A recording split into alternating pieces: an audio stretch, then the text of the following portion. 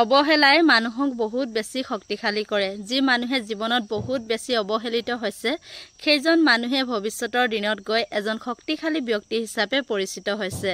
অৱহেলা এনে এক বস্তু মানুহে ভাবে তেওঁক অৱহেলা কৰিলে তেওঁ ভাঙি পৰিব। কিন্তু মানুহে এইটো কথা নাজানে যে যিজন ব্যক্তিক অৱহেলা কৰা হয় সেইজন ব্যক্তিয়ে ভিতৰৰ পৰা যুঁজিবলৈ শক্তি লাভ কৰে। যিজন মানুহ অৱহেলিত হয় সেইজন মানুহৰ মানসিকতা দৃঢ় হয় আৰু সেইজন মানুহে জীৱনত আহিবলগীয়া যিকোনো প্ৰত্যাহ্বানক স্বীকাৰ কৰিব পৰাকৈ শক্তিশালী হয়। মানুহৰ অৱহেলাই শক্তিশালী কৰা এজন ব্যক্তি হ'ল মহম্মদ স্বামী আমি জানো যে ভাৰতীয় ক্ৰিকেটাৰ মহম্মদ স্বামীয়ে জীৱনত বহুত বেছি অৱহেলাৰ সন্মুখীন হৈছে বহুত তিৰস্কাৰৰ সন্মুখীন হৈছে বহুত গ্লানিৰ সন্মুখীন হৈছে। কিন্তু তেওঁ কোনো অৱহেলাই কোনো তিৰস্কাৰে কোনো গ্লানিয়ে ভাঙিবলৈ দিয়া নাছিল। তেওঁ ভিতৰি ভিতৰি শক্তিশালী শক্তিশালী হৈছিল আৰু নিজক প্ৰমাণ কৰি দেখুৱাবলৈ দৃঢ় হৈছিল। আজি ভাৰতৰ প্ৰত্যেকজন ব্যক্তিৰে নয়নৰ মণি হ'ল মহম্মদ স্বামী যিজন ব্যক্তিয়ে আজি ভাৰতক গৌৰৱেৰে বিশ্বৰ আগত জিলিকাই তুলিছে সেইজন ব্যক্তিক এটা সময়ত সকলোৱে অৱহেলা কৰিছিল সকলোৱে গ্লানি কৰিছিল তিৰস্কাৰ কৰিছিল অপবাদ জাপি দিছিল আৰু সেইজন ব্যক্তি আজি সকলোৰে নয়নৰ মণি। কিছুমান গোড়া হিন্দুত্ববাদী লোকে মুছলমান লোকসকলক বহুত বেছি তুচ্ছ তাচিল্য কৰা দেখা যায়।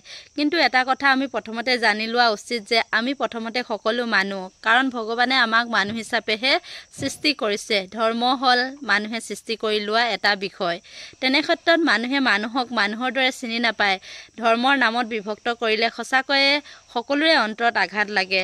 বহুতো মুছলমান সম্প্ৰদায়ৰ মহাপণ্ডিত মহাগুৰুসকলৰ অবিহনে আমি কেতিয়াও এক ভাৰতীয় হ'ব নোৱাৰোঁ বা এক অসমীয়া হ'ব নোৱাৰোঁ। তেওঁলোকৰ যি ত্যাগ জাতি প্ৰেম আমি কেতিয়াও নুই কৰিব নোৱাৰোঁ। বহুতো এনে মুছলমান ব্যক্তি আছে যিয়ে জীৱন যৌৱন তুষ্ট কৰি আমাৰ দেশৰ কাৰণে জাতিৰ কাৰণে বহুতো সংগ্ৰাম কৰি থৈ গৈছে। যদি আপোনাক কোনোবাই অৱহেলা কৰিছে বা আপুনি অৱহেলিত হৈছে তেন্তে আপুনি কেতিয়াও ভয় নকৰিব বা সাহস নেহেৰুৱাব।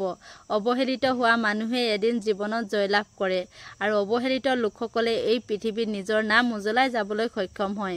বহুতো মহান মহান লোকৰ আত্মজীৱনী পঢ়িছোঁ আৰু সেইসকল মহান লোকে জীৱনত কিমান বেছি অৱহেলাৰ ঠাট্টা মস্কৰা তিৰস্কাৰ তুচ্ছ তাচিলৰ বলি হৈছিল তেতিয়া গম পাইছোঁ যে জীৱনত সফল হ'বলৈ হ'লে এইবিলাক বস্তুৰ খুবেই প্ৰয়োজন থাকে। অৱহেলা তুচ্ছ তাচিল্য নিন্দা তিৰস্কাৰ অপমান। এই বস্তুবোৰে মানুহক ভাঙি নেপেলায় এই বস্তুবোৰে মানুহক নতুনকৈ গঢ়াত সহায়হে কৰে।